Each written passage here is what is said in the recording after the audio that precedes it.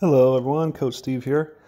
I'm going to go over a little bit of our uh, standard four-step jump float serve. So you're going to do two hands, jump float serve, four steps. So we're going to go over, first of all, any uh, serve, you want to get into a basic routine. So we're going to go play the video. You can see the normal routine, maybe bounce the ball a couple few times, do something that's unique to you or that you feel comfortable with that you can replicate over and over again. So very important to establish a routine. So let's just go over the first serve. So pretty basic, we're gonna go over it again. You can see the four steps. Nice float serve, pop and stop. All right, so let's gonna break down the video a little bit. First, we have the routine. So you wanna start with your right foot first. We're gonna spotlight the steps first. So we're going to step just like we're walking. We're going to have the ball with our hands, with two hands out in front, keeping a nice posture, our heads up. Our vision is looking up and around at the court so we can see the ball and we can see the toss. Our first right step is just going to be a nice little walking step, just like you're going for a nice walk. Second step also, first two steps are just nice little walking steps. So one, two, and then you're to go three, four into a small step close. So you can see it kind of a small hop. It's a one, two walk, three, four step close. Now we don't want to step close and create a whole massive amount of energy. This is just to give us a little bit momentum. Not exactly the same as our jumping and hitting.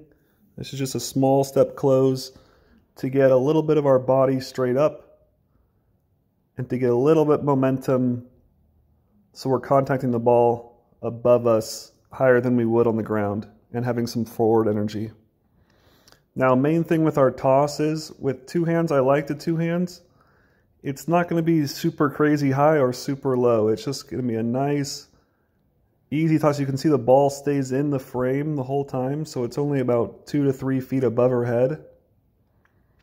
And it's a very nice little timing where you contact it out in front of you. So practice the toss.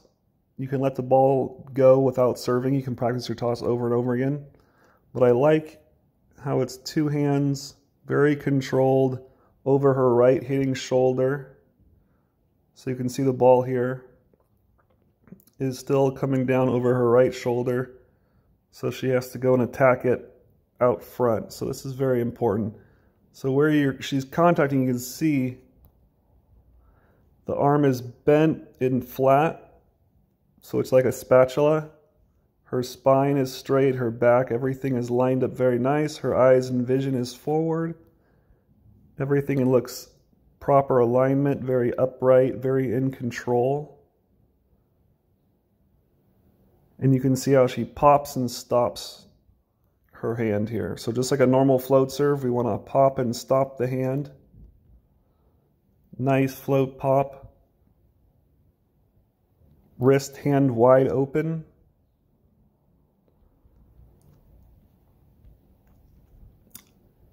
Let's see it again. So first two steps are walk, walk. Now you're tossing while you're hopping on those second steps.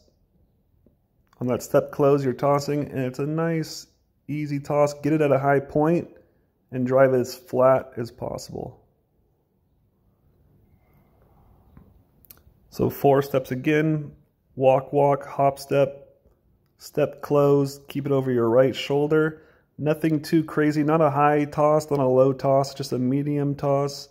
Very in control.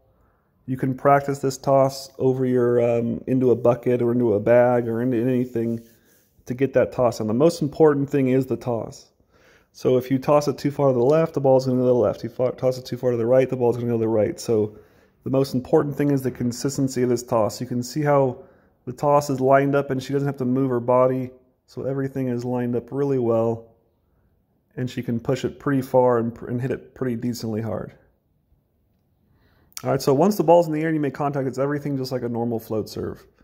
You don't want to spike it. You don't want to hit with top spin. You want to have a nice, controlled, open hand, flush, pop, and stop with the arms. See how the hand, hand's still in the air, not a follow through like a hit. So again, walk, walk, step close while we toss it medium height over our hitting shoulder, keeping our head up at the target, keeping our hand in hitting out in front of us, driving with our body. Nothing too crazy. We're not max jumping here. We're just creating some forward momentum. Pop and stop your hand up. And then get to base. So hope this uh, demonstration was knowledgeable for you. And I hope to see you guys soon.